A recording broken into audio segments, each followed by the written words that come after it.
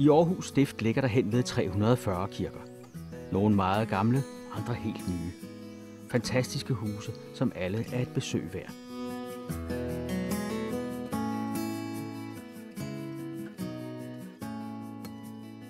I dag kigger vi indenfor i Brejnet Kirke.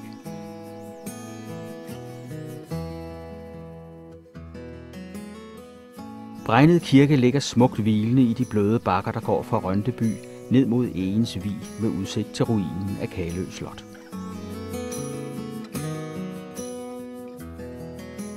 Kirkens lyse, smukke rum blev til efter en gennemgribende restaurering i 2006. Det, som var vigtigt, det var at få noget ny kunst ind i kirken. Det er vanskeligt at vælge kunst. Det er sådan, kunst er jo som videnskab, forelskelse.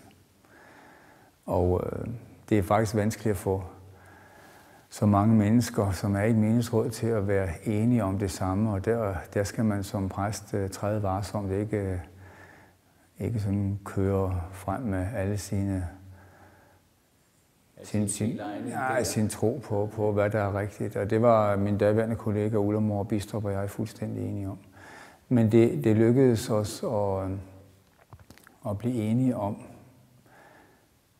at vi gerne vil øh, centrere dig om nogle af de kunstnere, som, øh, som i forvejen har lavet kirkekunst. Og så, så var vi på en udstilling, som Arne Haugen Sørensen havde i Holstebro.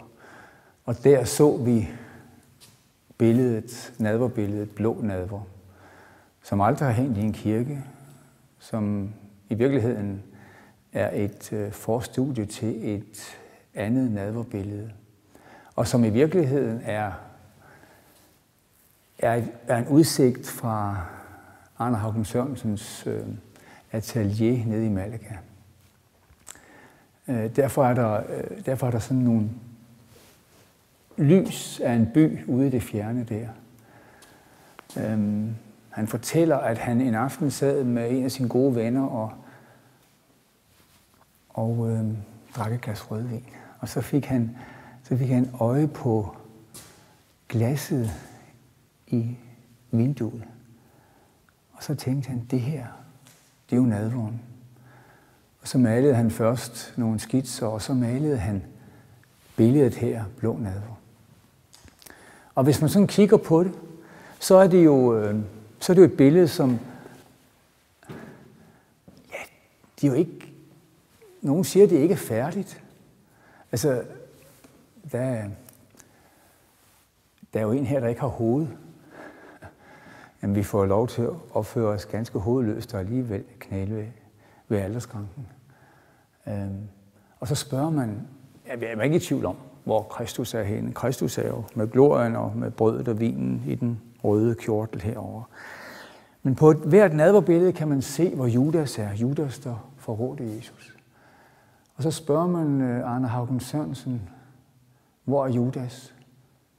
For Judas kan man se på alle andre af Arne Haugens Sørensens efterhånden mange nadverbilleder, som hænger i, i kirkerne.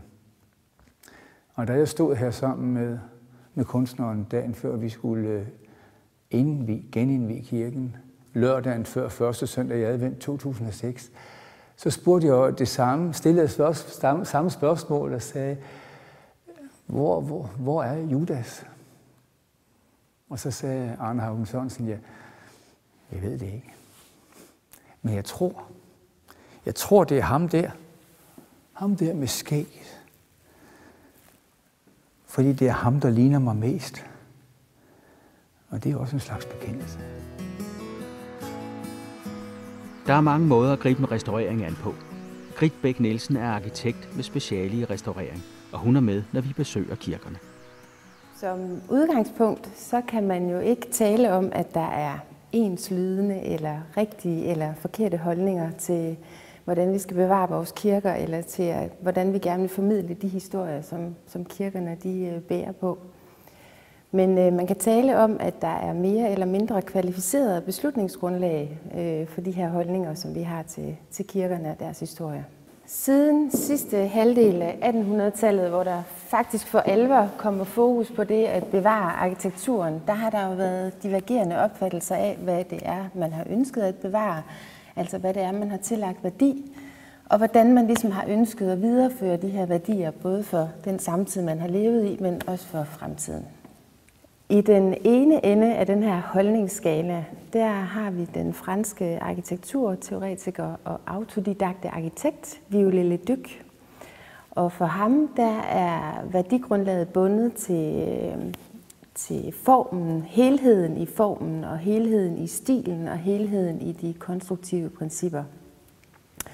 Og derfor så øh, argumenterer Viollet Leduc også for, at man gerne må reetablere eller tilbageføre en bygning, for eksempel en kirke, til en tidligere stilperiode. Også, også selvom at det er på bekostning af mellemliggende stilperioder, altså at de bliver fjernet.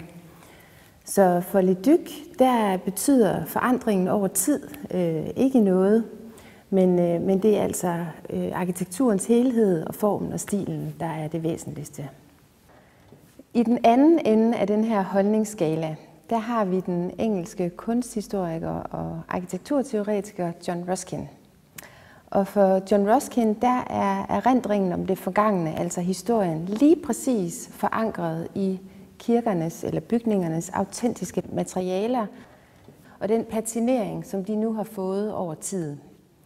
Og derfor så har John Ruskin også den holdning, at vi må under ingen omstændigheder gribe ind i de her bygninger – de skal så at sige have lov at dø i skønhed, som han siger.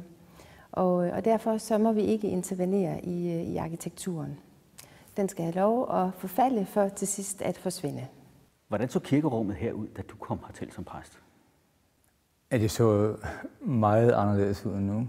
Øh, det var, der var meget træ herinde. Der meget var, træ?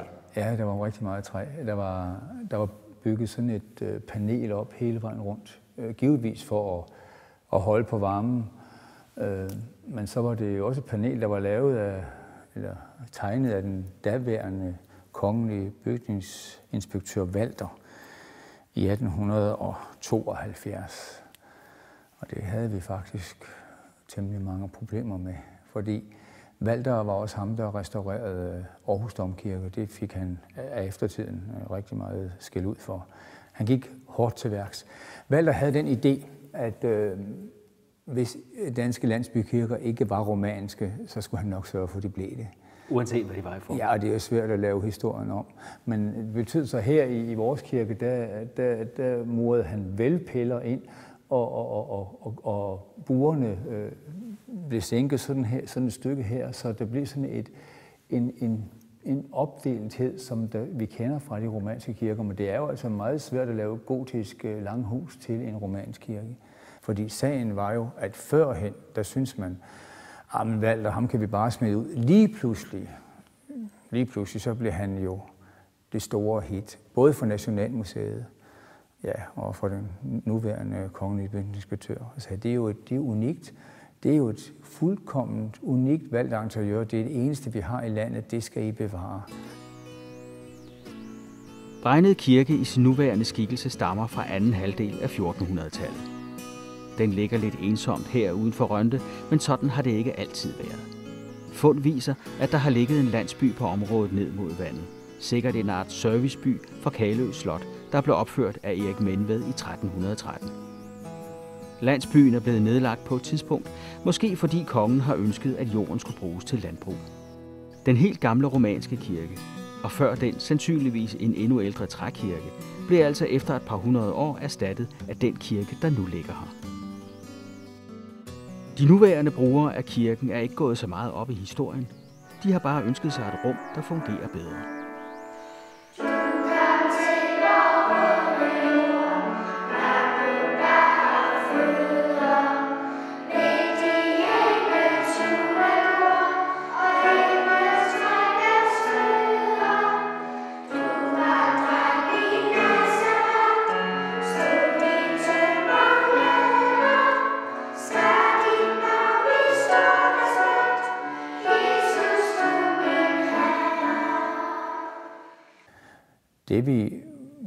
Meget gerne ville have i kirkerummet, det var, at vi fik så meget af Valter væk som muligt, for nu at sige det som det er. Og det vil gerne have kirkerummet til at være det gotiske rum igen. Det, det lyse rum, det, det, det, det, det store gotiske langhus, som det oprindeligt var. Og, og, og, og, og det var vores hoved, øh, hovedformål, kan man sige. Hvad der så måtte komme til, det var, om vi havde penge til det. Øh, og det vil sige, at vi skulle have banket de der senromanske buer ned. Vi skulle have taget spændebånd væk, som, som sad og spændte hele konstruktionen sammen, som også var sat ind i 1872. Vi skulle have ombygget eller et nyt orgel. Det var, det var rigtig vigtigt at få det, for det var, det var simpelthen defekt, vores orgel. Og jeg kan sige, det var, det var sådan hovedessensen af, hvad vi gerne ville. Og så ville vi som noget ekstra gerne have noget ny kunst i kirken. Og det er faktisk lidt interessant det her sted, øh, fordi at man hele to gange har øh, sat kirken i stand i henhold til de her bevaringsprincipper, øh, som Violet Dyk han, øh, han peger på. Man har nemlig både i 1870 og i 2006 valgt at føre kirken tilbage til en tidligere stilperiode. I 1870 der var det den romanske øh, stil, der var den, der var den vigtigste. Det var i hvert fald den, man valgte at fokusere på, og det var egentlig meget tidstypisk øh, for 1800-tallets bevaringsidealer, at øh, det var den romanske periode. Og det man gjorde var, at man øh, reetablerede vælpiller og gjorbuer, og man øh, isatte øh, en ny øh, prædikestol og stolestader, og man øh, etablerede også på, på det tidspunkt i 1870 øh, en ny øh, altertavle. I 2006 der sker der så det, at øh, man ønsker at sætte kirken i stand, og der fører man den tilbage til den gotiske periode. Og det betyder, at man øh, fjerner jordbuerne og genetablerer ribbevælv, som vi kan se, hvilket er meget tidstypisk for den gotiske arkitektur. Men man kan sige, at i begge tilfælde har man altså søgt imod reetablering af en bestemt stil, en bestemt form og nogle bestemte øh, konstruktive principper. Og øh, det har man jo altså gjort på bekostning af de mellemliggende perioders udviklingstrin, som kirken ellers ville afspejle. Og man kan sige, at man har valgt at prioritere kirkens æstetiske helhedsudtryk frem for den kulturhistoriske fortælling. Da vi havde set den altertavle, var vi ikke i tvivl om, at den vil vi gerne, den vil vi gerne have. Ja, vi var da ikke i tvivl om, at vi gerne vil købe den også. Og, øh, men vi vil gerne se, hvordan den så ud i rummet, så vi fik den her prøve ophængt i den daværende kirke og dækkede alting til med, med hvidt lagenlæret og bordpapir, så det skulle være så det skulle være så vidt som muligt. Øhm, og da den var i rummet, var vi ikke i tvivl om, at her hørte den til. Det betød så, at vi var langt i vores kunst. Fordi nu havde vi jo det, som vi rigtig gerne ville have. Et nyt alterbillede, og et alterbillede, som vi syntes udtrykte akkurat det, som øh, er et kære, et, øh, et, et kendetegn for, for, for Brejn menighed, at her er en stor nadverfejrende menighed. Derfor vil vi gerne have det. Og man kan sige, når man så kigger på det, og ser alle disse ufærdige mennesker, jamen så kan vi i virkeligheden bedre genkende os selv i det, også når vi knæler ved alterbordet. Fordi det er jo det, som nadveren også handler om. Da vi så havde billedet, så kunne vi ud fra det billede trække farverne ud i rummet. Det kan man sige. Den gule farve er så gået over på prædikestolen.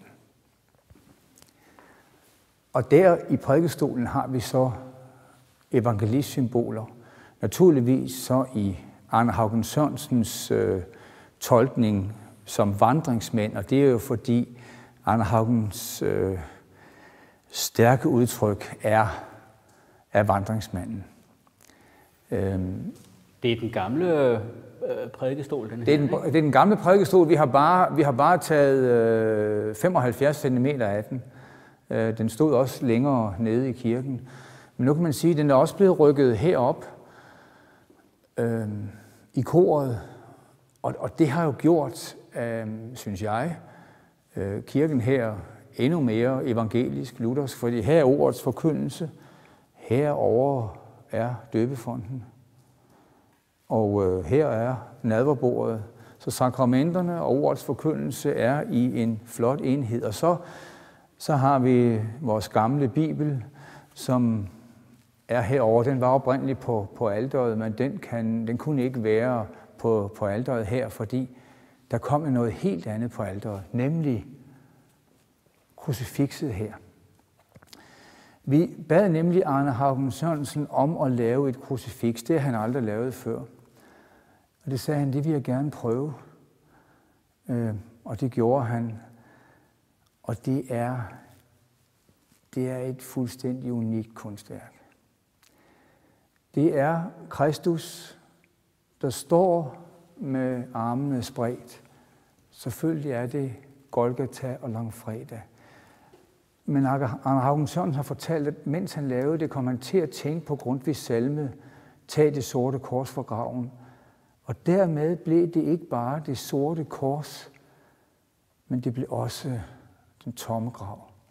Og derfor så står Kristus på den tomme grav, hvor man kan se, at kranier og ben og alt muligt kommer op. Og hvis man kender Joachim Skovgaards kæmpe billede, som er på Statens Museum for Kunst, øh, som hedder Kristus i de dødes rige, hvor Kristus står, og, og, og alle de døde kommer op til ham, så er det faktisk den fuldstændig den samme symbolik. Og så er der en symbolik i selve ansigtet. Alle Arne Haugen Sørensens øh, billeder og ansigter har i virkeligheden to sider, når det handler om Kristus. Og hvis man nu lægger sin hånd der, så kan man se, at det er den, det er den lidende Kristus. Den dødende, den døde. Men hvis man lægger hånden der, så er det den sejrende, den opstandende Kristus, der får farve i kinderne. Og derved så er der både langfredag og påskemorgen i det samme krucifix. Og det er, det er, jamen det er helt utroligt. Og det er en berigelse at få lov til at være så tæt på det som præst og stå og kigge på det søndag efter søndag, og det bliver bedre og bedre. Og det er jo det, der gør det til god kunst. At man kan, man kan at kunsten, at billedet, at udtrykket bliver bedre og bedre, og det fortæller hele tiden noget nyt. Og det gør alterbilledet også. Så havde vi Arne Haugen Sørensen på besøg, da vi havde hængt alterbilledet op. Og bad ham om at lave krucifixet, det vil han gerne prøve. Det gjorde han, og det blev fantastisk. Så sagde vi til ham, vi vil også gerne have de der friser til prædikestolen.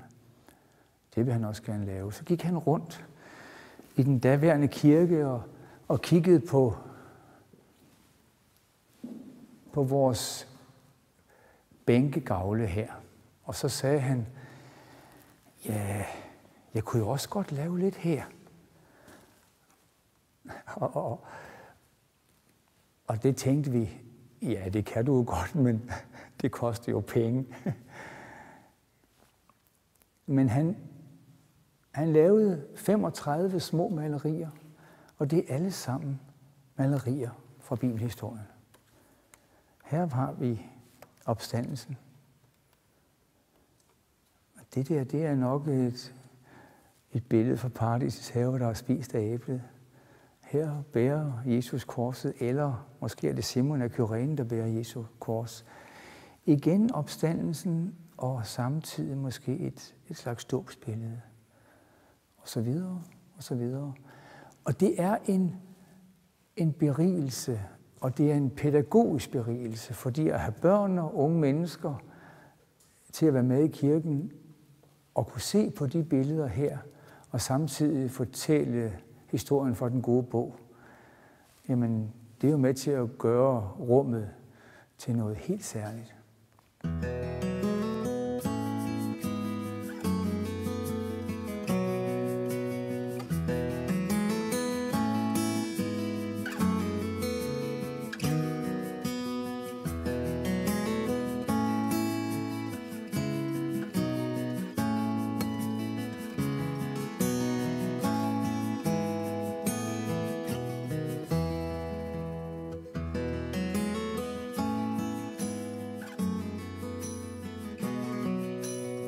Der er ingen tvivl om, at kirkens brugere i dag er glade for de ændringer, der er sket i det gamle hus. Men skal man bare følge tidsånden og ændre, som man har lyst til? Som bygningsinspektør Valter gjorde i 1872, og som menighedsråd og præst i Brejnet gjorde her i 2006? Når man foretager så gennemgribende indgreb i en øh, bygning, som man har gjort det her med Brejnet Kirke, så er det rigtig, rigtig vigtigt, at det beslutningsgrundlag, man øh, lægger til grund for indgrebet, er kvalificeret. Og hvad er så et kvalificeret beslutningsgrundlag? Men det er, at man inden man går i gang får lavet nogle undersøgelser, som kan, hvor man får dokumenteret kirkens arkitekturhistorie og kulturhistoriske udvikling. Og det kan man blandt andet gøre gennem bygningsarkeologiske undersøgelser. Og de er rigtig, rigtig gode, fordi at øh, de kan være med til at afdække historie om kirken, som man måske ikke var klar over fandtes. Og på den måde kan man også få revideret sit beslutningsgrundlag, for så var det måske ikke sikkert, at man havde valgt lige præcis den gotiske stil som grundlag for indgrebet. Men de bygningsarkeologiske undersøgelser, de skal også være med til at sikre, at den rekonstruktion eller tilbageføring, man foretager, at den faktisk stemmer overens med, hvordan Brændet Kirke så ud i sin gotiske form, og ikke bare bliver en eller anden generel fortolkning af, af, af det gotiske princip. Fordi så risikerer man jo, at øh, Brændet Kirke mister en del af sin identitet. Så det er rigtig vigtigt med det kvalificerede beslutningsgrundlag.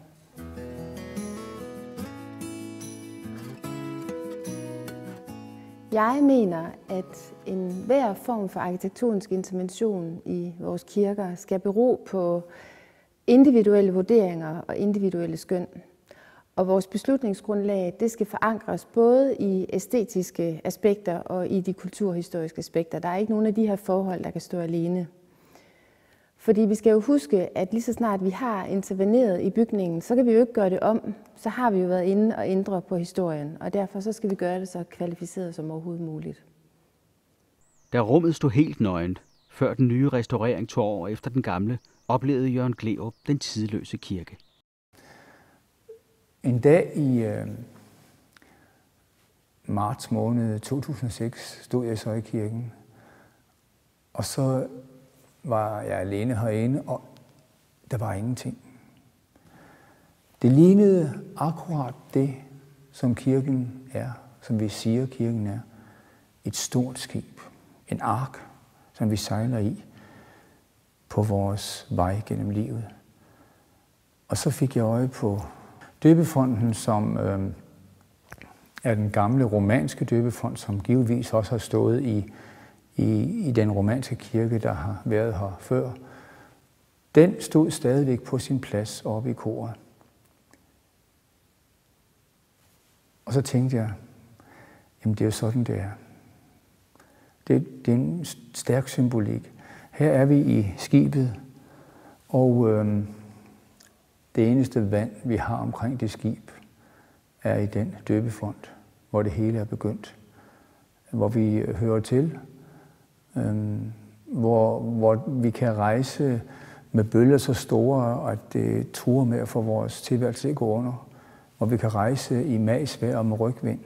Men i, i hvilken som helst sejlads er vi båret oppe af det, som begyndte ved en døbefond. Og derfor så fik jeg inspiration til at lave øh, en sang til konfirmanderne.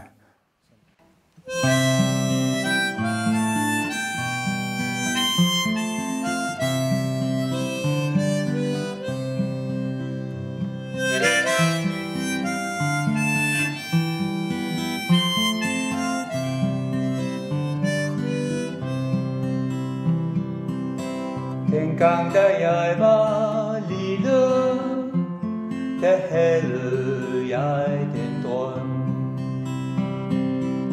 At sejle bort på hvide oceaners vind og strøm.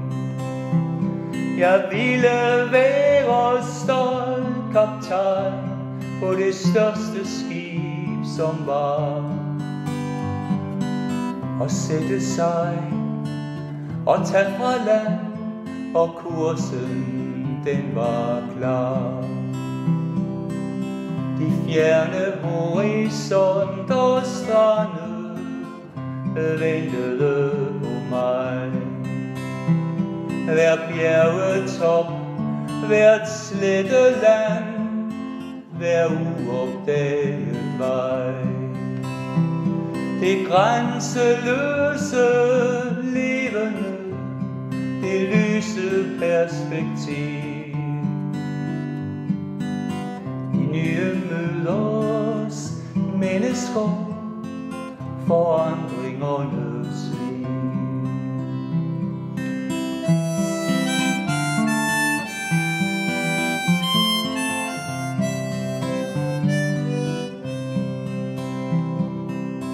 Men fjern blev net, og jeg blev aldrig stor og stolt kaptajn. For kærlighed kan binde mere end mange fremmede leg.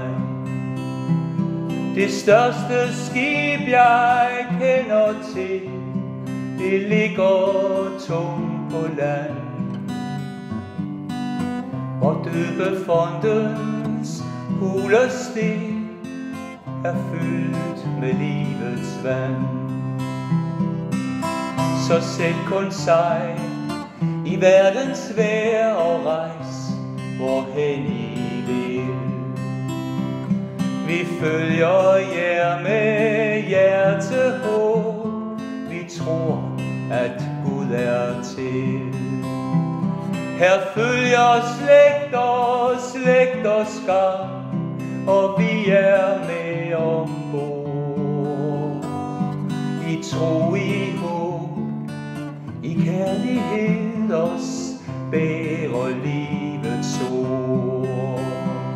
For slægt skal følge slægt og skam, og vi er med ombord. Med tro og håb og kærlighed.